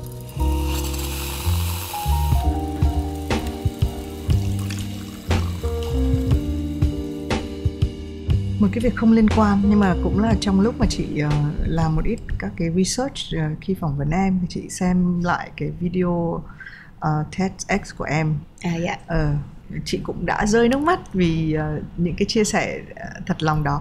Em có bao giờ xem lại không? Và em em có xem lại, ừ. em có xem lại với mẹ em tại vì ba mẹ em rất là thích xem đi xem lại những sản phẩm của em và những cái video của em ông bà ngoại em cũng vậy nhưng mà lúc đó là mẹ em xem lại thì mẹ em uh, nếu mà em được diễn lại cái cảnh đó thì như vậy giả sử đây là cái màn hình máy tính thì mẹ em sẽ nhìn vào màn hình một cách rất là tự hào kiểu ôi con tôi. Mẹ em cũng xúc động còn cái mặt em cứ kiểu mỗi khi mà em xem bất cứ có một gì mà nó có mặt mình đó đó em cũng có một cái sự ngại nhất định á. Thì em có xem lại nhưng mà cũng ít thôi tại em em cứ ngại ngại làm sao dạ. Yeah. nhưng hồi đó cái sức mạnh gì khiến em quyết định chia sẻ một cái câu chuyện mà chị nghĩ nó rất là riêng tư Ờ, chị nghĩ tầm 14 tuổi, 15 tuổi ai cũng trải qua một cái tuổi dậy thì mà có thể nó hơi khó khăn vất vả hơn. Ờ, yeah. có thể có những cái suy nghĩ đen tối nó diễn ra trong đầu mình, mình nghĩ đến chuyện đó thì mình phải mình tự vẫn mình làm hại bản thân mình. Yeah. À, và cái khoảnh khắc đấy đến với Thảo Tâm và may quá dừng lại kịp lúc đúng không? Yeah. Nên là mình ngồi đây với nhau. Um, cái lúc đó quay lại em nghĩ cái điều gì khiến cho em dũng cảm và muốn chia sẻ câu chuyện đấy? Khi mà em chia sẻ một câu em em có một cái may mắn là em cảm thấy em là một người khá là đồng điệu với cảm xúc của bản thân. Và em cảm thấy em không bị ngại về việc chia sẻ cảm xúc của bản thân, tại vì em cảm thấy nó giống là một cái phần rất là tự nhiên của mình đấy cho nên là em không cảm thấy khó khăn trong việc chia sẻ cảm xúc. Cho nên là trong, từ những cái giao tiếp kiểu gọi là informal, những cái giao tiếp bình thường giữa bạn bè và những người mình gặp hàng ngày, đến với những cái buổi chia sẻ lớn hay là những cái giao tiếp có phần phải chỉnh chu hơn á thì cái cái khía cạnh cảm xúc của em nó vẫn như thế. Em cứ làm đúng theo những cái mà em cảm thấy trong lòng thôi. Khúc đó em cảm thấy em em xúc động thiệt thì em cứ cứ cứ xúc động thôi. ừ. cho nên là khi mà em nhận cái cái cái cái cái hồ sơ và chương trình đó thì có một cái chương trình TEDx lần đó có một cái chủ đề là my biggest step. Hình như là cái bước trưởng thành lớn nhất của tôi hay là cái bước đi lớn nhất của tôi thì em nhận ra thật sự đó, đó là cái cái cái bước lớn nhất của em thì em cứ chia sẻ sẽ như thế thôi ừ. chứ giả sử như mà cái chương trình nó có cái tên khác như là dạ. câu chuyện mắc cười nhất của tôi thì em cũng không chịu sâu đâu em sẽ cười trên sân khấu thôi nhưng mà em nghĩ là cái cái cái việc mà em chia sẻ cảm xúc thiệt lòng như thế nó là một phần của em mà em mong là em sẽ không bao giờ mất uh, khi mà cái cảm xúc nó thật lòng nó có một cái tốc độ di chuyển rất là nhanh và nó bảo toàn được cái yeah. Dạ. nguyên cái định lượng của nó ví dụ như mình thấy ờ, một ai đấy khóc một cách thật lòng chị cũng là một cái người rất là dễ khóc yeah. Dạ. và mình có thể khóc cùng với họ uh, họ cười rất vui mà thật lòng thì mình ừ. cũng sẽ thật lòng yeah. Dạ. um, hôm nay chị nghĩ là mình cũng nói chuyện khá là nhiều uh, chị gần như chưa hỏi một chút gì về tình yêu nhưng mà chị cũng không chắc là em em có thoải mái chia sẻ về tình yêu hay không dạ thôi. Dạ thôi. Ừ, thôi nhưng có có yêu là được rồi. Ừ, dạ. Yêu đời yêu người. Ừ. dạ yêu cây cỏ. À, trong gen di truyền thì thả tâm có nhắc đến cái việc là đôi khi mình phải đánh đổi cái giấc ngủ của mình này thời gian ăn ốc này. Dạ. Đúng không? Để làm những cái việc mà mình muốn. À, bây giờ thì em em thường phải đánh đổi cái gì? Dạ vẫn là giấc ngủ vẫn là câu trả lời cũ là giấc ngủ. Nhưng mà tối hôm qua em vừa mới đi ăn cái viên chiên với bạn em. Xong rồi tới một giờ tụi em mới về nhà lận. Nhưng mà theo trong cái khoảng thời gian một năm đổ lại đây kể từ khi qua gen di truyền thì em cảm thấy là tại vì em đang cho phép bản thân em dịu dàng với mình hơn. Cho nên là em cho phép bản thân em đi làm những thứ làm cho mình vui hơn và kết nối với bản thân mình hơn và kết nối với những người mình yêu thương. Cho nên là những kèo ăn ốc hay là những cái kèo ăn cái viên chiên nó cũng tăng lên đáng kể và em cảm thấy nó không cần mất đi nữa. Mà thậm chí là khi mà không có mặt nó thì em cũng không cảm thấy nặng nề nữa và nó không cảm thấy là một mất mát nữa. Nó chỉ là một cái không hoặc chưa xảy ra thôi. À, còn em em mất ngủ là tại vì em đi ăn ốc. Sáng hôm qua tới 3 giờ em mới đi ngủ lần tại vì một giờ tụi em đi về xong tụi em xào quần xào quần ở trong cái ký túc xá xong lại nói chuyện với nhau. Em cảm thấy là cái chuyện mất ngủ triền miên thì không tốt cho mọi người. Triền triền miên là không tốt cho mọi người. Nhưng mà sẽ nó sẽ là một cái mình mình có thể điều tiết lại được. Ừ. nhưng mà miễn là mình mình đừng quá gay gắt với bản thân trong những cái mà mình đã vô tình làm sai.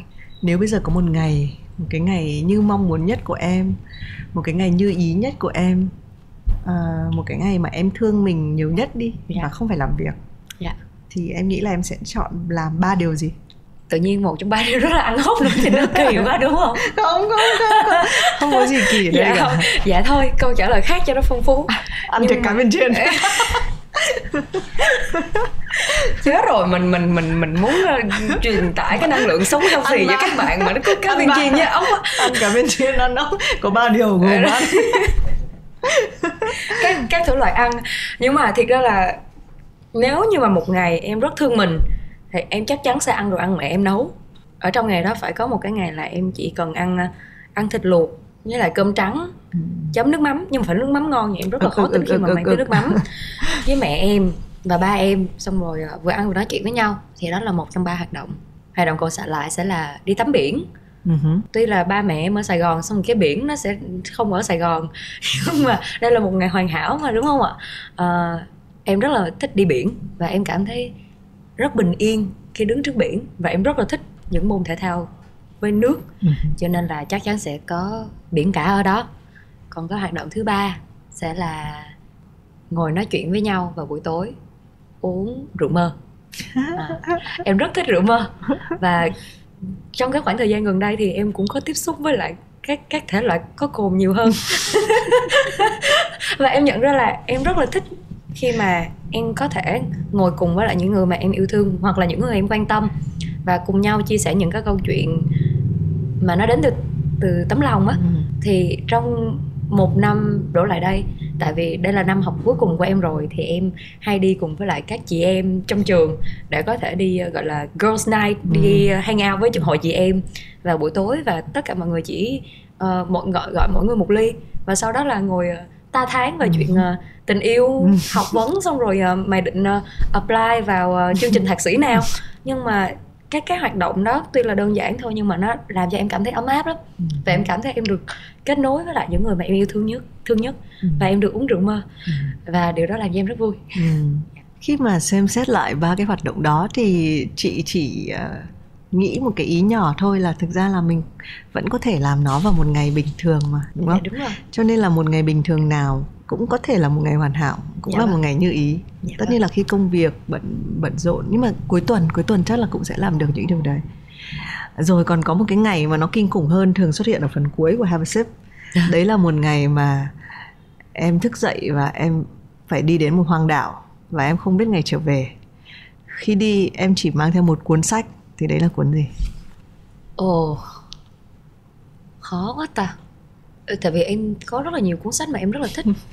Nhưng mà khi mà chị vừa mới mới mới mới nhắc đến câu hỏi này thì cuốn đầu tiên bật ra trong đầu của em là cuốn All the Light We Cannot See. All the Light We Cannot See. Ờ, ôi tệ quá. Yêu cuốn sách đó lắm mà tự nhiên quên mất bác tác giả tên là gì. Nhưng mà đó là một cuốn tác giả ờ, một cuốn sách thắng Pulitzer Prize. Năm em em nhớ nếu mà nhớ không lầm thì nó là 2017 2016 2017 nhưng mà nhưng mà đừng đừng tin mình nha, để để mình về mình phát check lại lần nữa. Đây là cuốn sách mà em đọc vào năm lớp lớp 11 và đây là một cuốn sách mà nó làm cho em em đã khóc rất là, em em không khóc được. Em là một người rất là dễ khóc. Nhưng mà cuốn sách đó, khi mà em đóng cuốn sách đó lại, em sang chấn suốt một tháng sau luôn. Mà em vẫn không thể nào khóc được, tại vì cái kết của cái cuốn sách đó, nó quá là đau lòng đi. Nó đau lòng theo một cái cách rất là âm ỉ. Nó không phải là một cái nỗi đau gào thét. Nó không làm cho mình tức giận nó chỉ làm cho mình cảm thấy rất là thương thôi. Thì cuốn sách đó nói về um, hai cô bé và cậu bé sống ở trong thời thế chiến. Và đó là cái câu chuyện vượt qua những cái nỗi đau đương thời. Nó nói về những cái khía cạnh rất là con người của những người phải trải qua thương đau. Mỗi lần mà em nghĩ về cuốn sách đó nó làm cho em nhớ về cái chuyện là mình phải thương mình và mình phải là một cái con người tử tế dù có trải qua thương đau ấy và nếu mà em lên hoang đảo thì em nghĩ là em sẽ phải làm nhiều thứ nó rất là kinh khủng. Cho nên là nếu mà em sách theo một cuốn sách mà nó nhắc em em nhắc em về cái phần người ở trong em thì em nghĩ đó là một cái vật dụng rất cần thiết ở trong cái chuyến đi đó với lại cái cuốn đó nó cũng dày á chị nó mình lỡ mình phải mình phải quýnh nhau. Với xé ra mình đốt lửa rồi các thứ nó chị? cũng nó cũng tiện á. Dạ nó em em em có cái cạnh thực dụng đó. Ừ. nhưng mà uh, đó là drive của em. All the lights we cannot ừ. see. Tới bây giờ em vẫn sợ việc phải đọc lại cuốn sách đó. Thật ra lúc mà em đọc thì nó là một cuốn sách của bạn em. Em mượn đọc nhưng mà sau đó em thích nó quá em có một lần mà ba mẹ em đi du lịch thì em có nhờ ba mẹ có thể mua về cho con cuốn sách này không? Thì uh, ba mẹ mua về rồi nhưng mà em vẫn chưa dám dở nó ra để đọc lại. Uh tuy là nó sẽ chắc chắn là một cuốn sách sẽ mãi mãi luôn ở trên tủ sách của em. Uh chị cũng có những cái cuốn sách mà hồi mình còn nhỏ hơn mình đọc và mình nó rất là lay động mình nhưng mà nó cũng rất là nó rất là buồn ừ. và mình cũng phải đợi rất là lâu mình mới dám mở lại cũng một phần là mình mình biết là nó hay và mình cũng sợ là đọc đi đọc lại thì nó nó đỡ hay ừ. nên là đấy, nhưng mà à, chị có một cái cuốn sách như vậy và đợt vừa rồi chị đọc lại chị lại rớt nước mắt lại từ đầu xong rồi kiểu con đàn con của chị vây quanh và kiểu hoảng hốt vì kiểu kiểu mẹ đang ngồi khóc yeah. Dạ. đó thì và cái điều hay á là thực ra mỗi cái thời điểm ấy yeah. Dạ. khi mà cái câu hỏi này nó đến nó lại như một cái mình phản chiếu lại bản thân mình ở cái thời điểm này yeah. Dạ. có thể là vài năm sau với cái câu hỏi này mình sẽ mang cuốn sách khác uh, và chị uh, hay hỏi khách mời của mình và trong suốt hơn 100 người đã phỏng vấn thì mỗi có những người ở độ tuổi khác nhau họ mang những cái sự lựa chọn cũng rất là thú vị đấy thì hôm nay yeah. cảm ơn em dạ cảm ơn chị à, thì mình nghĩ cái câu hỏi vừa rồi thì nó cũng kết lại cái cuộc trò chuyện của chúng ta dạ. à, với một số người thì nó luôn cái cuộc trò chuyện nó có thể là miên man mình có thể trò chuyện mãi dạ. mình có thể nói về mọi thứ. Nhưng mà để kết lại cho ngày hôm nay thì thì mình vẫn nghĩ là thảo tâm là một à, một gen z điển hình có nhiều thành tích đóng uh, đóng nhiều vai uh, tham gia nhiều hơn một lĩnh vực. Uh, nó vẫn là cái câu chuyện là cái áp lực đặt trên vai tất cả chúng ta trong cuộc sống này. Uh, cái cách mà biết thương mình một tí để cho cái cuộc sống của mình nó là những cái ngày hoàn hảo. Thì hôm nay mình cũng mình cũng chia sẻ được nhiều và thì mình nghĩ là khán giả nếu là những bạn cũng là Gen Z thì cũng cũng nên biết nghỉ ngơi đúng không? Còn khán giả chung của Have a Sip thì, thì mình biết rằng đôi khi cái thời gian được ngồi bên nhau trò chuyện à, uống một cốc trà à thực ra là hai cốc trà thì và Thật là có vẻ như ừ, có vẻ như là không hết em rất là hào nước em rất là hào nước đấy yeah. cái dạ. thời gian ngồi bên nhau trò chuyện yeah. Dạ. là cái thời gian ừ, mọi người sẽ đều trân quý nãy giờ mình cũng nhắc về cái cụm từ như ý rất là nhiều thì em có một cái cơ duyên rất là mà em rất là trân trọng đó là em được hóa thân vào một cô gái tên là Như Ý Nguyễn ừ, ừ, nhưng mà nếu mà ừ. không không có ghi dấu thì nó cái cái nick Facebook của cô ấy đọc sẽ mọi người sẽ đọc thành chữ Như Ý Nguyễn và đó à. là một cái à. nhân vật ở trong cái chuỗi phim ngắn uh, uh, sống như ý của Generally và đặc biệt là được uh, đạo diễn bởi một người mà em rất là ừ. em rất là ngưỡng mộ và em cũng rất là trân trọng đó là đạo diễn Trương Chí Công thì khi mà được đồng hành cùng với lại Như Ý uh, em được nghe những cái slogan của từng cái đợt phim ngắn ừ. ra thì có rất, rất là nhiều câu mà em rất là lấy tâm làm tâm đắc. Và nó nhắc nhở bản thân em rất là nhiều về cái chuyện bản thân mình bây giờ mình gọi mình là như ý thì mình có lắng nghe cái câu này hơn một cách sâu sắc hơn hay không? Thì em nhớ có hai câu làm cho em nhớ nhất ở trong cái chuỗi phim ngắn đó là uh, chẳng cần như ai chỉ cần như ý. Uh, và tại vì lúc đó nhân vật của em tên là như ý thì cái câu đó sẽ thành là chẳng cần như ai chỉ chỉ cần như mình. Chỉ cần là mình thôi là đủ tại vì em cảm thấy mỗi chúng ta đã là, sinh ra đã xứng đáng là mình rồi ấy. và cái câu thứ hai em rất là thích là thương mình một tí cho đời như ý. Và nó cũng giống với lại cái cái nghĩa kia, nếu như mà mình không biết thương mình á, thì mình không thể nào, mình trân trọng cái cuộc đời một cách trọn vẹn được. Và mình cứ tìm cách dịu dàng với bản thân mình hơn thôi. vào lúc đấy. Mình có cần mình làm lại cái câu ấy không ạ? nghe vào tiếng như nào? Dạ. Thì, thì em ừ, không sao đâu không sao đâu. Cuộc đời phải có nhiều cái bất như ý như vậy thì nó mới nó mới như ý được đúng dạ không? vâng. Dạ. Tự dưng bị run. Dạ à, đấy thì cái điều như ý nhất của thì minh ngày hôm nay là được trò chuyện với thảo tâm dạ. à, chị cũng chúc em nếu mà đã biết rằng là đã biết thương mình đã biết rằng là à cái giá trị do mình tạo ra là quan trọng nhất thì uh, có thể làm việc chăm chỉ có thể nghỉ ngơi khi cần có thể ăn thật nhiều cá viên chiên có thể uh, vừa vừa cá viên chiên thôi uống thật nhiều trà uh, yeah. Dạ. cảm ơn thảo tâm nhé và cũng yeah. Dạ. cảm ơn tất cả các khán giả của Have a Sip dạ cảm ơn chị Thiên Minh rất là nhiều và cảm ơn quý khán giả của Have a Sip và cảm ơn Vietcetera ừ. đã cho phép tâm được có mặt tại đây ngày hôm nay xin chào hẹn gặp lại